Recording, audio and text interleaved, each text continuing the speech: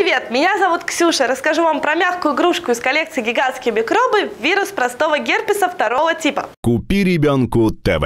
Эта мягкая игрушка выполнена в виде возбудителя заболевания герпеса. Она желтого цвета, представляет собой такой вот шарик, э, который окружен замечательной такой оболочкой. У шарика выразительные желтенькие глазки. Игрушка станет отличным оригинальным подарком вашим друзьям и знакомым. Пока, друзья, смотрите купиребенку.тв. Купи ребенку ТВ.